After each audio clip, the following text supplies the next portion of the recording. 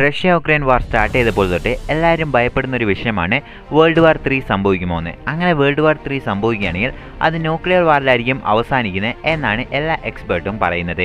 അപ്പോൾ ന്യൂക്ലിയർ വാർ എന്ന് കേൾക്കുമ്പോൾ തന്നെ എല്ലാവരുടെ മനസ്സിലും ഓർമ്മ വരുന്ന ഒരു കാര്യമായിരിക്കും ഹിറോഷിമ ആൻഡ് നാഗസായി അറ്റാക്ക് അതെ ആയിരത്തി തൊള്ളായിരത്തി നാൽപ്പത്തഞ്ച് ഓഗസ്റ്റ് ആറാം തീയതി ഹിറോഷിമയിൽ നടത്തിയ ഈ ഒരു അറ്റാക്ക് എഴുപത്തെട്ട് വർഷങ്ങൾക്ക് ശേഷവും അല്ലെങ്കിൽ ഇന്നും ആൾക്കാർക്ക് അതൊരു ഓർമ്മയുള്ള വിഷയമായി മാറുന്നുണ്ടെങ്കിൽ നമുക്ക് ഊഹിക്കാവുന്നതുള്ളൂ അത് എത്രമാത്രം ഒരു വീര്യമുള്ള അറ്റാക്ക് ആയിരുന്നു എന്ന് അപ്പോൾ അമേരിക്ക വേൾഡിലെ നമ്പർ വൺ സൂപ്പർ പവർ ആവണം എന്ന് കരുതി മനഃപൂർവം ജപ്പാനെതിരെ നടത്തിയ ഒരു അറ്റാക്കാണ് എന്നും ഇത് പറയപ്പെടുന്നു. അത് മാത്രമല്ല ഈ ഒരു അറ്റാക്ക് സംഭവിച്ചിട്ടും വീണ്ടും ജപ്പാൻ അമേരിക്കയെ എന്തിനാണ് സപ്പോർട്ട് ചെയ്യുന്നത് അപ്പോൾ ഇതിനെക്കുറിച്ചുള്ള അതായത് എന്താണ് സംഭവിച്ചത്? എന്തുകൊണ്ടാണ് ഇത്രയും വലിയൊരു അറ്റാക്ക് അമേരിക്ക നടത്തിയത്? ഇതിന്റെ പിന്നിലുള്ള ഏറ്റവും സെറ്റ് കാര്യങ്ങളാണ് നമ്മൾ ഇന്നത്തെ ഈ വീഡിയോ ഡിസ്കസ് ചെയ്യുന്നത്. ഈ വീഡിയോ തീർച്ചയായിട്ടും യൂസ്ഫുള്ളും ഇൻട്രസ്റ്റിംഗും ആയിരിക്കും. വീഡിയോ ഷെയർ ചെയ്യാൻ മറക്കരുത്. ഇപ്പോൾ വീഡിയോ ഇട്ട് കിടക്കാം. All my life holding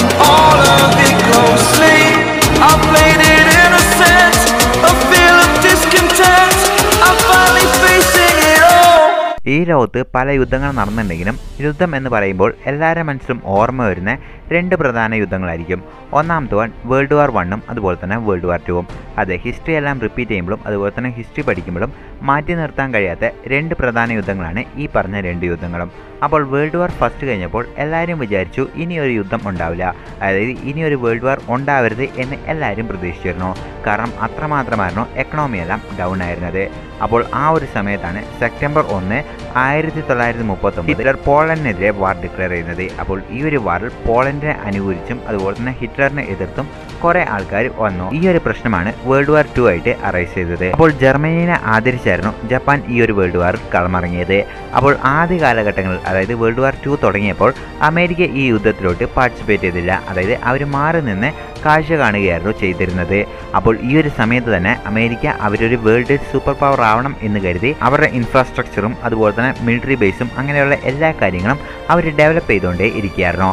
അതിലൂടെ അവരുടെ എക്കണോമി ആ ഒരു സമയത്ത് വലിയൊരു ഉയർച്ചയിലോട്ടായിരുന്നു പോയിക്കൊണ്ടിരുന്നത്. അങ്ങനെ ഇരിക്കുമ്പോഴാണ് അമേരിക്കയ്ക്കും ജപ്പാനും എപ്പോഴും ഒരു കോൾഡ് വാർ ഉണ്ടായിരുന്നു?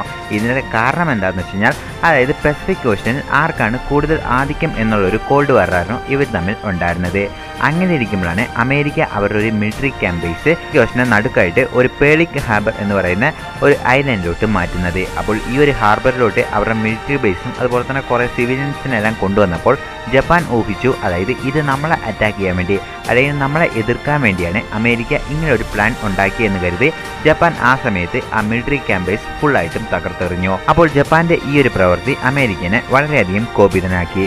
അപ്പോൾ ഈ ഒരു സമയത്ത് അമേരിക്ക എന്ത് വിചാരിച്ചു? അതായത് ജപ്പാനെ എങ്ങനെയും അവരെ എങ്ങനെയും അടിച്ചു നുറുക്കണം എന്ന് കരുതി അമേരിക്കയും സെക്കൻഡ് വേൾഡ് വാറിലോട്ട് എന്റർ ആവുന്നു. അപ്പോൾ ഈ ഒരു ക്യാമ്പ് ജപ്പാൻ ഡിസ്ട്രോയ് ചെയ്തതോടെ അമേരിക്കയ്ക്ക് നഷ്ടമായത് ഏകദേശം മൂവായിരം പേരുടെ ജീവനായിരുന്നു. ഈ മൂവായിരം പേരിൽ കുറേ സോൾജേഴ്സ് ഉണ്ടായിരുന്നു ആർമി ജനറൽസ് ഉണ്ടായിരുന്നു. അതുപോലെ തന്നെ കുറേ സിവിലിയൻസ് ഉണ്ടായിരുന്നു എന്നാണ് അമേരിക്ക പറയുന്നത്. അപ്പോൾ ഇതുകൂടാതെ അവർക്ക് ഏറ്റവും വലിയ നഷ്ടമായി കരുതപ്പെട്ടത് ഈ ഒരു ക്യാമ്പിൽ കുറേയധികം അഡ്വാൻസ് എക്യുപ്മെന്റും അതുപോലെ തന്നെ കുറേയധികം വെപ്പൺസ് എല്ലാം അവർ വെച്ചിട്ടുണ്ടായിരുന്നു. അപ്പോൾ ഈ വെപ്പൺസ് എല്ലാം തന്നെ അവിടെ തകർത്തെറിഞ്ഞു. അപ്പോൾ ഇതാണ് അമേരിക്കയ്ക്ക് ഏറ്റവും വലിയ ദേഷ്യം ഉണ്ടാകാൻ കാരണം എന്നാണ് പറയുന്നത്.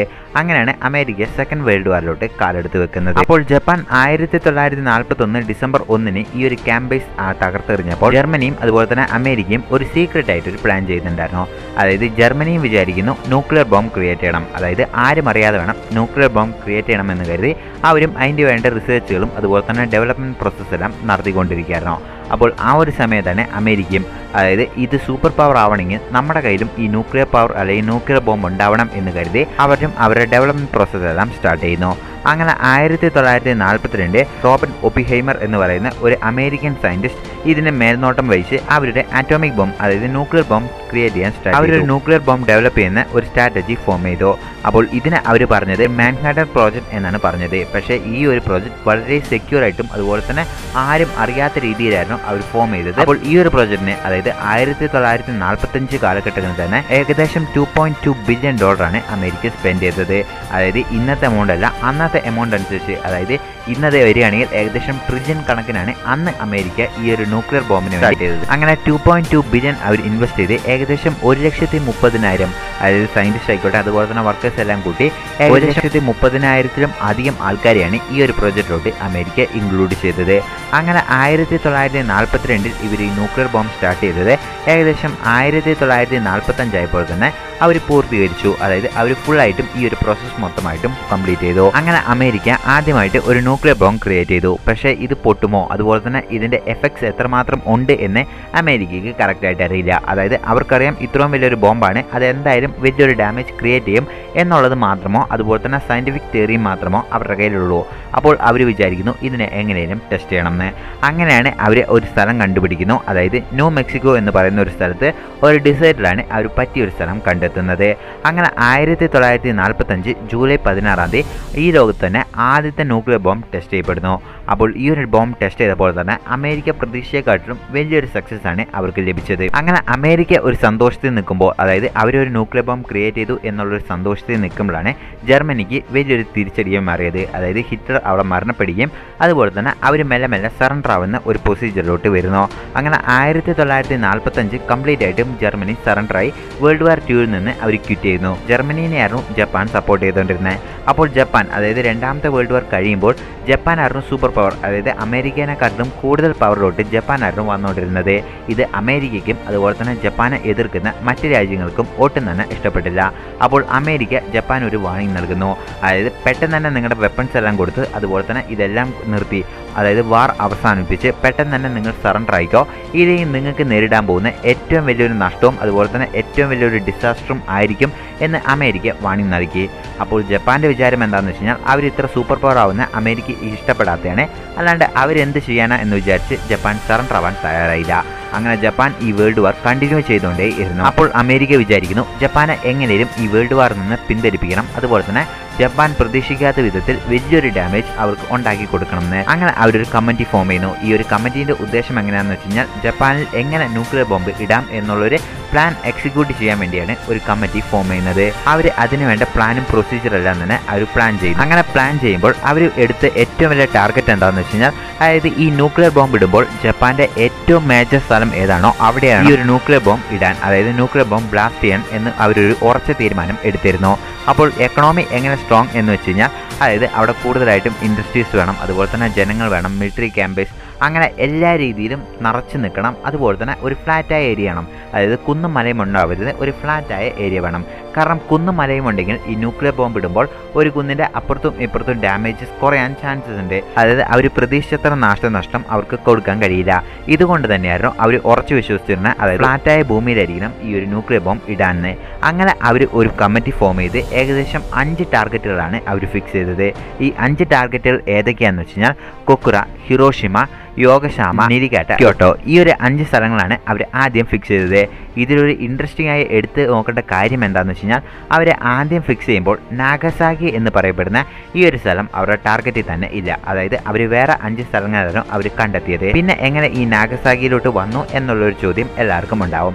ഇതിന്റെ കാരണം എന്താണെന്ന് വെച്ച് കഴിഞ്ഞാൽ ഈ ഒരു കമ്മിറ്റീന്റെ ഹെഡ് ഹെൻറി സ്റ്റിപ്സൺ എന്ന് പറയുന്ന ഒരാളായിരുന്നു. അപ്പോൾ ഇദ്ദേഹം ഇദ്ദേഹത്തിന്റെ ഹണിമൂൺ ജപ്പാനിലെ കിയോട്ട എന്ന് പറയുന്ന സ്ഥലത്തായിരുന്നു അദ്ദേഹം അദ്ദേഹത്തിന്റെ ഹണിമൂൺ ചെലവാക്കിയത്.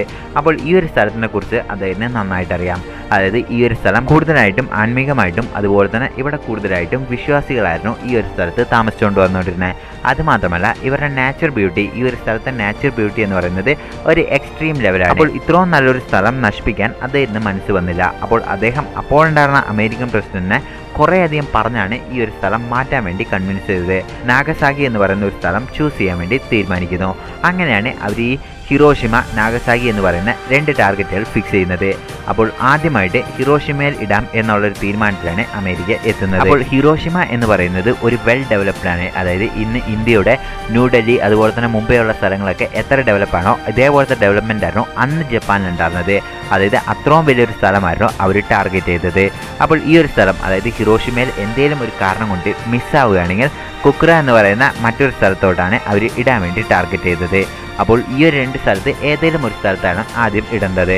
അങ്ങനെ ആയിരത്തി തൊള്ളായിരത്തി നാൽപ്പത്തഞ്ച് ഓഗസ്റ്റ് ആറാം തീയതി അങ്ങനെ യു എസിൽ നിന്ന് ഈ ന്യൂക്ലിയർ ബോംബുമായിട്ട് ഒരു വെഹിക്കിൾ പുറപ്പെടുന്നു. ഈ ഒരു വെഹിക്കിൾ ഏതാണെന്ന് വെച്ച് കഴിഞ്ഞാൽ air force two ninety one Enola Gay Tibbets എന്ന് പറയുന്ന ഒരു എയറോപ്ലെയിനായിരുന്നു പുറപ്പെടുന്നത്. ഈ ഒരു എയർക്രാഫ്റ്റിലാണ് ഈ ന്യൂക്ലിയർ ബോംബ് അവർ കൊണ്ടുപോകുന്നത്. അങ്ങനെ ഈ ഒരു എയർക്രാഫ്റ്റിൽ ഈ ന്യൂക്ലിയർ ബോംബ് കൊണ്ടുപോകുന്നു. ഈ ന്യൂക്ലിയർ ബോംബ് എന്ന് പറയുന്നത് മൂന്ന് മീറ്റർ നീളവും അതുപോലെ തന്നെ നാല് ടൺ വെയിറ്റും അതുപോലെ യുറേനിയം ഇരുന്നൂറ്റി മുപ്പത്തഞ്ചോളം ഫിൽ ചെയ്ത ഒരു ന്യൂക്ലിയർ ബോംബായിരുന്നു അങ്ങനെയുള്ള ഈ ന്യൂക്ലിയർ ബോംബാണ് ഹിറോഷിമേൽ അവരിടാൻ വേണ്ടി എല്ലാവിധ തയ്യാറെടുപ്പുകളും എടുത്തു കഴിഞ്ഞിട്ട് ലിറ്റിൽ ബോയ് എന്ന് പറയപ്പെടുന്ന ഒരു എയർക്രാഫ്റ്റിലായിരുന്നു ഈ ഒരു ന്യൂക്ലിയർ ബോംബ് അവർ കൊണ്ടുവന്നത് അങ്ങനെ ഈ ന്യൂക്ലിയർ ബോംബ് ക്യാരി ചെയ്ത് ഹിറോഷിമ എന്ന് പറയുന്ന സ്ഥലത്ത് അവർ എത്തി. ഹിറോഷിമയിൽ എന്താണെന്ന് വെച്ച് കഴിഞ്ഞാൽ എ ഐ ഒ എ എന്ന് പറയുന്ന ഒരു ബ്രിഡ്ജിന്റെ ഈ ഒരു ബ്രിഡ്ജിന്റെ പ്രത്യേകത എന്താണെന്ന് വെച്ചാൽ ടി ഷേപ്പാണ് അതുകൊണ്ട് അടി ഉയരത്തിൽ നിന്ന് നോക്കിയാലും ഈ ഒരു ടി ഷേപ്പ് ബ്രിഡ്ജ് പെട്ടെന്ന് തന്നെ വിസിബിൾ ആണ്.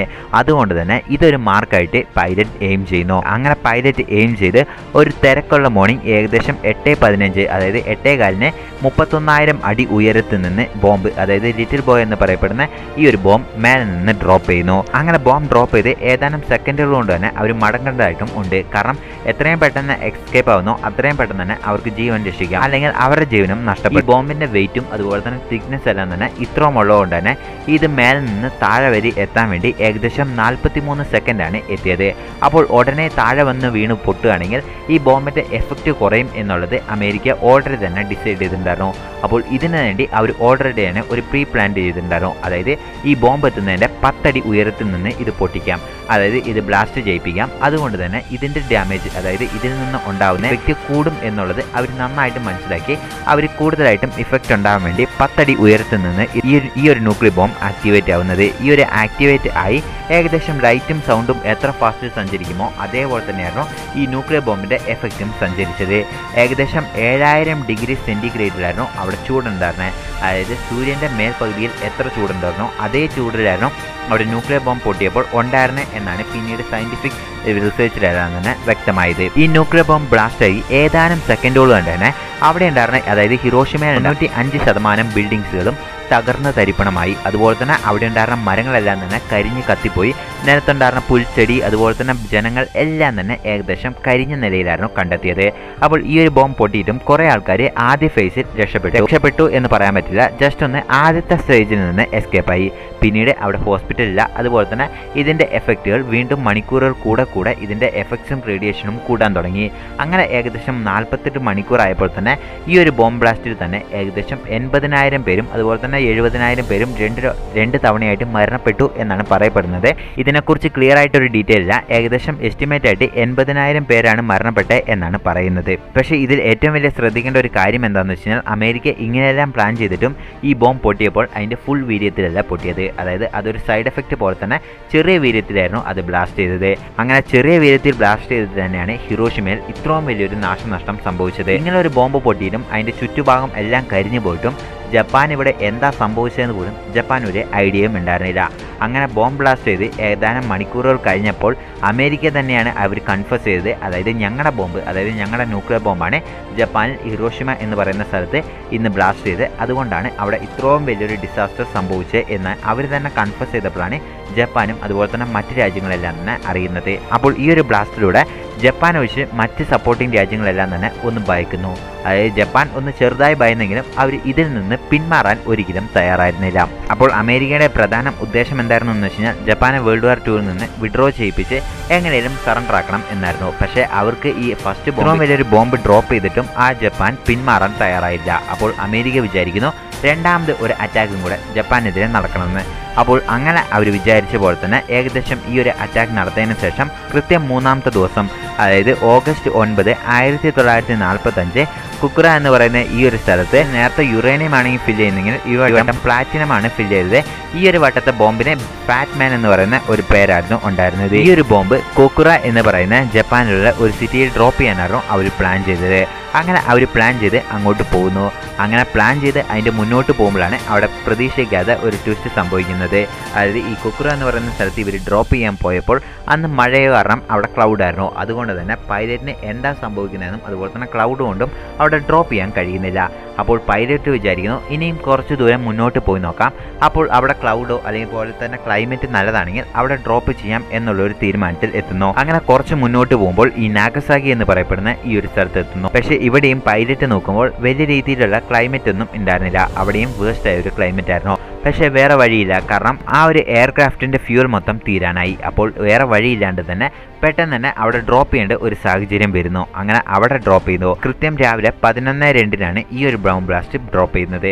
അങ്ങനെ ഈ ഒരു ബോംബ് ഡ്രോപ്പ് ചെയ്ത് ഏതാനും നിമിഷങ്ങൾ കൊണ്ട് തന്നെ പെട്ടെന്ന് തന്നെ പൊട്ടുന്നു. പക്ഷേ ഇവിടെ എന്താ ട്വിസ്റ്റ് എന്തായിരുന്നെന്ന് വെച്ച് കഴിഞ്ഞാൽ ഈ നാഗസാഗി എന്ന് പറയപ്പെടുന്ന ഈ ഒരു സ്ഥലം കൂടുതലും കുന്നും മലയുമായിരുന്നു അപ്പോൾ നമ്മൾ നേരത്തെ പറഞ്ഞ പോലെ തന്നെ ഇവിടെ ഡ്രോപ്പ് ചെയ്താൽ വലിയ വീര്യമുണ്ടാവില്ല എന്നിട്ടും ഏകദേശം ഈ ചുറ്റളവിൽ ഏകദേശം രണ്ട് കിലോമീറ്റർ ചുറ്റളവിൽ ഉണ്ടായിരുന്ന ബിൽഡിങ്സ് മരങ്ങൾ അതുപോലെ തന്നെ ജനങ്ങൾ എല്ലാം തന്നെ കത്തി നശിക്കുന്നു. ഈ ഒരു അത്യാവശ്യം നാൽപ്പതിനായിരം പേരോളം മരണപ്പെടുന്നു. അതുപോലെ തന്നെ ജപ്പാന്റെ പ്രധാനപ്പെട്ട മറ്റൊരു സിറ്റിയും കൂടെ അമേരിക്ക തകർത്തെറിയുന്നു. അപ്പോൾ ഈ ഒരു സാഹചര്യത്തിൽ ജപ്പാൻ വിചാരിക്കുന്നു. അപ്പോൾ ഇനിയും ഈ യുദ്ധം തുടർന്നുകൊണ്ടിരുന്നു കഴിഞ്ഞാൽ അമേരിക്ക നമ്മളെ ഫുള്ളായിട്ടും ഇല്ലാണ്ടാക്കി കഴിയും എന്ന് ജപ്പാൻ മനസ്സിലാക്കി ജപ്പാൻ ഓഫീഷ്യലായിട്ടും സറണ്ടർ ആവുന്നു.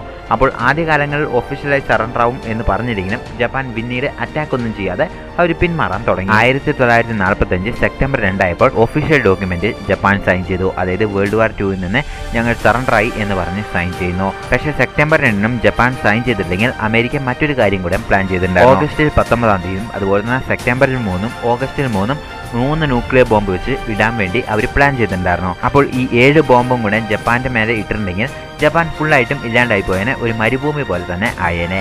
അപ്പോൾ ഇത് ജപ്പാൻ മനസ്സിലാക്കിക്കൊണ്ടാണ് സെപ്റ്റംബർ രണ്ട് ആയിരത്തി തൊള്ളായിരത്തി നാൽപ്പത്തഞ്ച് ഒഫീഷ്യൽ ഡോക്യുമെന്റ് അതായത് വിഡ്രോവൽ ഡോക്യുമെന്റ് അതായത് വേൾഡ് വാർ ടൂവിൽ നിന്ന് അവർ ഒഫീഷ്യലായി സറണ്ടർ ആവുന്നു എന്നുള്ളൊരു ഡോക്യുമെന്റിൽ അവർ സൈൻ ചെയ്യുന്നു. അപ്പോൾ ഈ ഒരു അറ്റാക്ക് കാരണം അതായത് രണ്ട് ഹിറോഷിമ നാഗസാക്കി ഈ രണ്ട് അറ്റാക്ക് കൊണ്ട് ജപ്പാനെ നഷ്ടപ്പെട്ട ഏകദേശം രണ്ട് ലക്ഷം ആൾക്കാരോളം മരണവും അതുപോലെ തന്നെ അവിടെയുള്ള വലിയ വലിയ ഇൻഡസ്ട്രീസും അതുപോലെ തന്നെ അവരുടെ ഡെവലപ്മെന്റ് എല്ലാം തന്നെ ഇല്ലാണ്ടായി. എന്നിട്ടും ജപ്പാൻ ഇന്നും അമേരിക്കേന്റെ ഭാഗത്താണ് നിൽക്കുന്നത്. അപ്പോൾ ഇതിന്റെ കാരണം എന്താണെന്ന് വെച്ചാൽ പിന്നീടുള്ള അവരുടെ രാഷ്ട്രീയ നേട്ടങ്ങളും അതുപോലെ തന്നെ മറ്റു കാര്യങ്ങളെല്ലാം